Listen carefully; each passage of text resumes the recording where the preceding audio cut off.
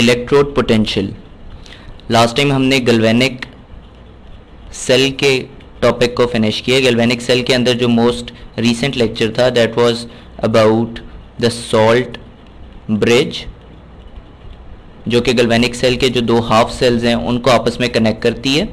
Half bridge कुछ इस किस्म की चीज़ होती है। हमने ये डिस्कस किया था कि जो हाफ़ ब्रिज है, ये आइंस सप्लाई करती है। किस काम के लिए?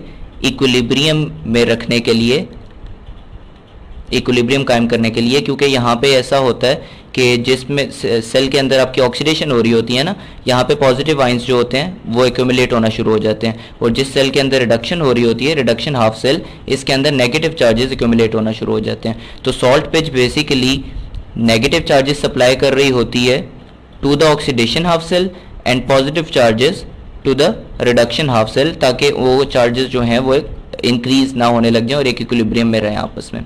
इसके अलावा हमने रिवर्सिबल सेल फंक्शनैलिटी के बारे में बात की थी। हमने ये बात की थी कि अगर आप एक गल्वेनिक सेल कायम करते हो तो उसमें जितनी आपको वोल्टेज मिल रही होती है यहाँ पे ऑन द गल्वेनोमीटर और ऑन द वोल्ट मीटर उतनी ही वोल्टेज अगर आप खुद सप्लाई करना शुरू कर दो तो व्हाट हैपन्स इज़ कि ये जो सेल है, ये अपनी करंट की डायरेक्शन चेंज कर लेता है और आप बेसिकली रिवर्स रिएक्शन ट्रू हो जाता है। For example metal A and B positive was reacting to make B and A positive यानी ए ऑक्सीडाइज अगर हो रहा था और बी रिड्यूस हो रहा था तो फिर इसका उल्ट होना शुरू हो जाएगा। यानी B plus A positive will start changing into A plus B positive यानी फिर बी ऑक्सीडाइज हो जाएगा एंड ए जो है वो रिड्यूस हो जाएगा, यानी उसका चार्ज कम होना शुरू हो जाएगा।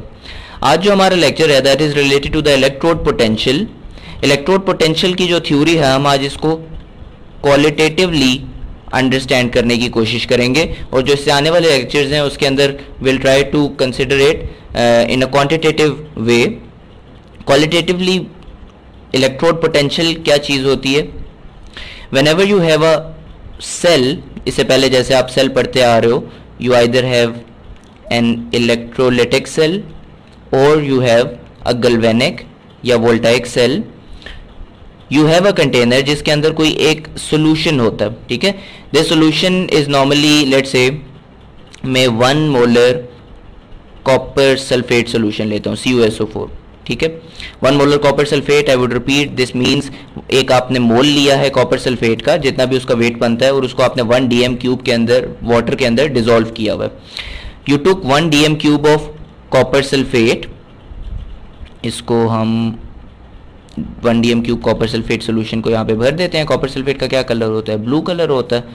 So let say this is copper sulphate solution it looks more like pani but let say this is copper sulphate solution और this solution will have copper ions definitely यहाँ पे बीच में बहुत सारे C U plus two C U plus two C U plus two C U plus two C U plus two U plus two these are all the ions present inside this solution अब आप क्या करो कि इसके अंदर आप एक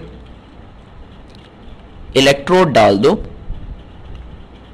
electrode आपने किस चीज़ का डालना है? इलेक्ट्रोड भी आपने कॉपर ही का डालना है। ठीक है? Let say you took one copper strip एक मेटल पीस आपने ले लिया कॉपर का, और इसको आप एज एन इलेक्ट्रोड यूज़ करना चाह रहे हो। नाउ जो आपने मेटल स्ट्रिप लिया है this is basically in atomic form यानी ये सी यू है, ये सी यू प्लस टू नहीं है। और सोल्यूशन के अंदर आपके पास पॉजिटिव आइंस हैं। Now there are two different possibilities यहाँ पे हम साइड पे करके दोनों पॉसिबिलिटीज लिखते हैं। द फ़र्स्ट पॉसिबिलिटी इज़ कि जो अपने कॉपर डाला है, ऊपर स्ट्रिप डाली है, वो दो इलेक्ट्रॉन्स जो है वो लूज करे, और वो सी यू प्लस टू में चेंज होके सोल्यूशन के अंदर आ जाए। ठीक है? जिससे ये होगा कि स्ट्रिप का एक एटम ओवरऑल कम हो जाएगा। और दो इलेक्ट्रॉन्स जो हैं, ये कहाँ जाएँगे? ये स्ट्रिप के ऊपर आ जाएँगे। और इस स्ट्रिप के ऊपर फिर इसकी वजह से एक नेगेटिव चार्ज आ जाएगा। ये नेगेटिव चार्ज कब आएगा? अगर ये वाला रिएक्शन हो, ठीक है? और चार्ज नेगेटिव आ जाएगा प्लेट के ऊपर। ऑन द अदर हैंड ये हो सकता है कि ये जो कॉपर की प्लेट है, वो कुछ ना करे, बल्कि ये जो सोल्यूशन के अंदर सी यू टू प्लस हैं, ये क्या करें कि ये दो इलेक्ट्रॉन्स लें कहाँ से लें? ये दो इलेक्ट्रॉन्स जो हैं ये इस प्लेट से लेंगे क्योंकि प्लेट जो है उसका मेटेलिक स्ट्रक्चर है उससे इलेक्ट्रॉन्स लिए जा सकते हैं। दो इलेक्ट्रॉन्स प्लेट से लेके सी यू में चेंज हो जाए और सी यू ये फिर प्लेट के ऊपर आके डिपॉजिट हो जाए। सो so, दो किस्म के केसेस हो गए। एक तो वो केस जिसमें प्लेट से एक इलेक्ट्रॉन जो है वो ख़त्म हो रहा है ठीक है? और दूसरा जो है दूसरे केस के अंदर प्लेट के ऊपर एक एक्स्ट्रा इलेक्ट्रॉन आ रहा है ठीक है? जो यहाँ के डिपॉजिट हो जाएगा यहाँ पे आके। एक केस में आपका एक इलेक्ट्रॉन जो है वो रिमूव हो रहा है, यहाँ पे एक एटम जो है वो रिमूव हो रहा है प्लेट से और यहाँ पे एटम डिपॉजिट हो रहा है प्लेट के ऊपर। ठीक है, ये प्लेट के हिसाब से मैं बात कर रहा हूँ। जब आपने एटम डिपॉजिट किया प्लेट के ऊपर तो ये जो दो इलेक्ट्रॉन्स थे, मैंने क्या कहा था, कहाँ से आए हैं? ये प्लेट से सॉल्यूशन के अंदर आए हैं। So in this case plate ने चूँकि इलेक्ट्रॉन्स लूज किए हैं तो प्लेट के ऊपर पॉजिटिव चार्ज आ जाएगा। राइट इन आइदर केस या तो ये रिएक्शन हो रहा हो, या ये रिएक्शन हो रहा हो प्लेट के ऊपर या तो नेगेटिव चार्ज आ जाएगा, या फिर पॉजिटिव चार्ज आ जाएगा। ठीक है? और अभी फ़िलहाल तो मैंने कॉपर सल्फेट सोल्यूशन फिक्स किया हुआ है ना? Let say one molar solution of any metal कोई भी चीज़ ले लो वन मोलर सोल्यूशन आपने लिया किसी भी चीज़ का, ठीक है? जिस चीज़ का आपने सोल्यूशन लिया, वही वाला इलेक्ट्रोड आपने यहाँ पे यूज़ करना है। अब अगेन कोई भी आप इलेक्ट्रोड यूज़ करोगे और अगर उसी का सोल्यूशन है तो इसका मतलब है उसी के आइंस भी पड़े हुए हैं और वो एटॉमिक फॉर्म में भी है। अगेन आपके पास दो पॉसिबिलिटीज होंगी। या तो वो ऑक्सीडाइज हो जाए इन दैट केस प्लेट के ऊपर नेगेटिव चार्ज आना शुरू हो जाएगा, या फिर वो रिड्यूस हो जाए, जो सोल्यूशन के अंदर के आपके पास एटम्स हैं, वो रिड्यूस हो जाए और इस तरीके से प्लेट पे पॉजिटिव चार्ज आ जाएगा। एग्रीड गुड नाउ प्रैक्टिकली होता यह है कि when you do this whatever have told यानी जब आप एक किसी भी प्लेट को डिप करते हो, आपने पूरा सर्किट नहीं बनाना, सिर्फ़ एक प्लेट को आपने डिप किया हुआ you are going to see के क्या होता है। तो these two reaction take place simultaneously यानी अगर ये प्लेट ए जो मटेरियल है, उसकी बनी हुई है, और ए प्लस आइन सोल्यूशन के अंदर मौजूद हैं तो ये जो ए प्लस हैं, ये इलेक्ट्रॉन्स लेके, इस प्लेट के प्लेट से इलेक्ट्रॉन्स लेंगे, जिसकी वजह से प्लेट के ऊपर पॉजिटिव चार्ज आने की कोशिश करेगा और ए के अंदर चेंज हो जाएँगे और इसके ऊपर आके एक ए एटम डिपॉजिट हो जाएगा और यहाँ से ए कम हो जाएगा। एग्रीड अब क्या होगा कि इस प्लेट ही के ऊपर से एक और एटम जो है, वो जो है, वो ए प्लस में चेंज हो जाएगा और सॉल्यूशन के अंदर आ जाएगा और प्लेट के ऊपर जो एक नेगेटिव चार्ज आ जाएगा क्योंकि प्लेट वो जो एक इलेक्ट्रॉन अभी इसकी वजह से प्रोड्यूस हुआ, ये प्लेट पे वापस आ जाएगा। बेसिकली ये जो ऊपर वाला रिएक्शन है और जो नीचे वाला रिएक्शन है, ये साइमल्टेनियसली हो रहे होते हैं। साइमल्टेनियसली साइमल्टेनियसली का मतलब है इकट्ठे हो रहे हैं ये दोनों, ठीक है? लगातार हो रहे हैं। ऐसे नहीं हो रहा कि सिर्फ़ या तो ये हो रहा होगा या ये हो रहा होगा। प्रैक्टिकली ये हो रहा होता है कि एट द सेम टाइम कुछ प्लेट के एटम्स सॉल्यूशन के अंदर आ रहे होते हैं ऑक्सीडाइज होके, ये नीचे वाला रिएक्शन करके। और कुछ सॉल्यूशन के आइंस जो हैं, वो प्लेट से इलेक्ट्रॉन्स लेके प्लेट के ऊपर डिपॉजिट भी हो रहे होते हैं। ठीक है? यानी ऊपर वाला रिडक्शन का प्रोसेस और नीचे वाला ऑक्सीडेशन का process at the same time parallel में चल रहे होते हैं। बट होता यह है कि इनमें से किसी एक प्रोसेस का जो रेट है, वो दूसरे से ज़्यादा होता है। And as a result overall या तो प्लेट के ऊपर पॉजिटिव चार्ज आ जाता है। पॉजिटिव चार्ज इस केस में आता है अगर जो आपका रिडक्शन रिएक्शन है, वो ज़्यादा हो रहा हो, निस्पतन ऑक्सीडेशन के, या फिर प्लेट पे नेगेटिव चार्ज आ जाता है, अगर ऑक्सीडेशन रिएक्शन ज़्यादा हो रहा है, यानी ये नेगेटिव चार्जेस प्लेट के ऊपर आते जा रहे हैं। इन आइदर केस प्लेट के ऊपर अगर आप गौर करो चार्ज आ रहा है, और इस चार्ज की वजह से प्लेट के ऊपर कुछ ना कुछ पोटेंशियल आ जाएगा, ठीक है? इलेक्ट्रिक पोटेंशियल आ जाएगा, ठीक है? इस पोटेंशियल को टेक्निकली इलेक्ट्रोड पोटेंशियल बोला जाता है। इलेक्ट्रोड पोटेंशियल इसको मैयर किए, किन यूनिट्स में किया जाता है, वो इसका क्वांटिटेटिव डिस्क्रिप्शन होगी, जो इससे नेक्स्ट लेक्चर के अंदर आपको समझाई जाएगी। क्वांटिटेटिव डिस्क्रिप्शन जिसमें हम एक स्टैंडर्ड हाइड्रोजन इलेक्ट्रोड या एस एच ई यूज़ करते हैं, ठीक है? और फिर हम कंपेयर करते हैं मुख्तलिफ़ इलेक्ट्रोड्स को स्टैंडर्ड हाइड्रोजन इलेक्ट्रोड के साथ, और फिर हम उसकी वैल्यू मैयर करते हैं।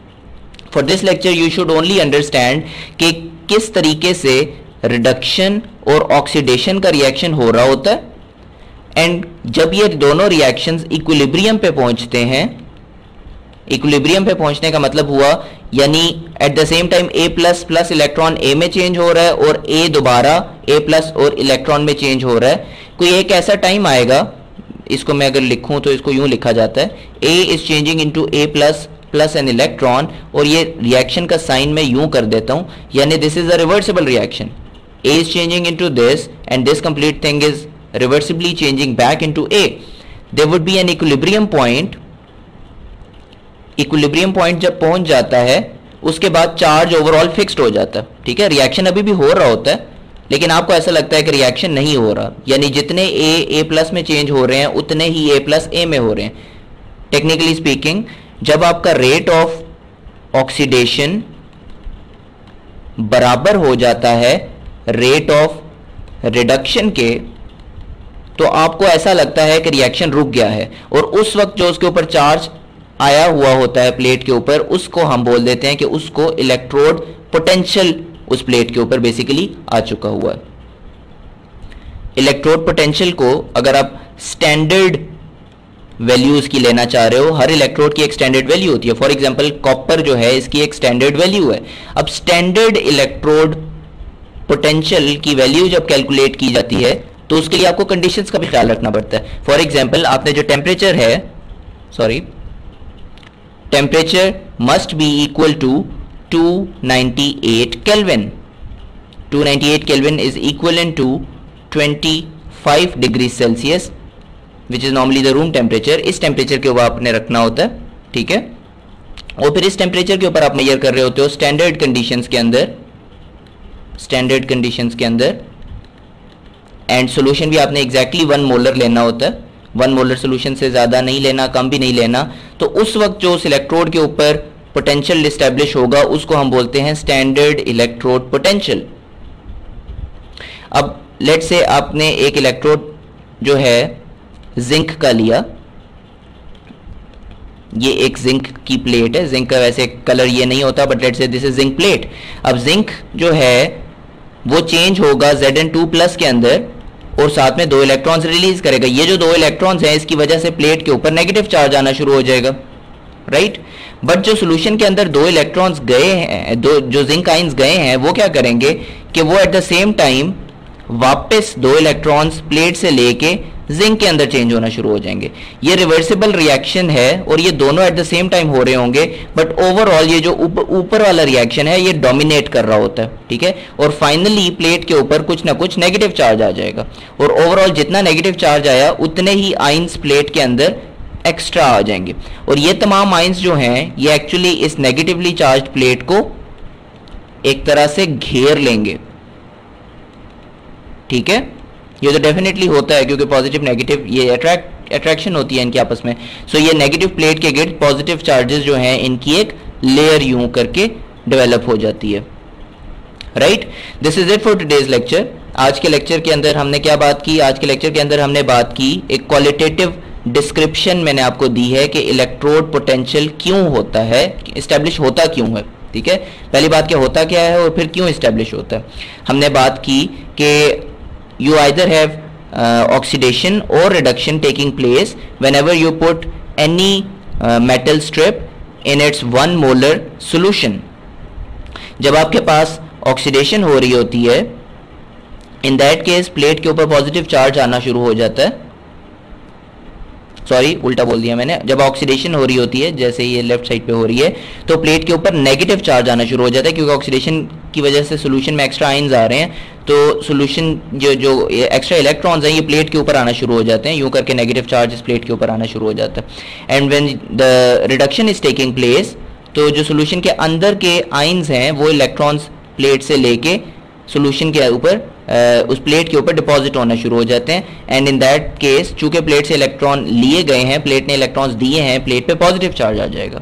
राइट सो so, ये उसकी मजीद थोड़ी सी डिस्क्रिप्शन है। इसमें आपको मैंने समझाया है कि इक्विलिब्रियम किस तरीके से इस्टेब्लिश होता है between this forward and the reverse reaction और इनमें से फाइनली जब इक्विलिब्रियम अटेन हो जाता है when the rate of oxidation reaction and rate of reduction reaction become equal उस टाइम जो ओवरऑल इलेक्ट्रोड के ऊपर पोटेंशियल इस्टेब्लिश्ड होता है, उसको हम इलेक्ट्रोड पोटेंशियल कहते हैं। फिर मैंने आपको फाइनली बताया कि स्टैंडर्ड कंडीशंस के अंदर एट 298 केल्विन और वन मोलर एग्जैक्ट सोल्यूशन जब लिया जाता है तो उस वक्त जो इलेक्ट्रोड पोटेंशियल है we call it standard electrode potential which is actually the ability of an electrode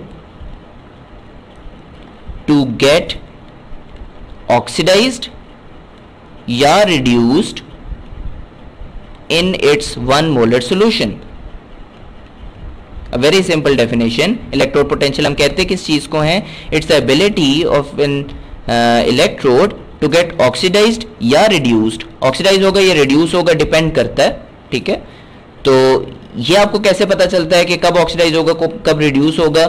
ये हम इसकी इलेक्ट्रोड पोटेंशियल की वैल्यू से डिटरमिन करते हैं और वैल्यू इसकी क्वांटिटेटिवली हम कैसे मैयर करते हैं? क्वांटिटेटिवली ये हम इसे नेक्स्ट लेक्चर के अंदर देखेंगे, जिसमें हम स्टैंडर्ड हाइड्रोजन इलेक्ट्रोड स्टडी करेंगे।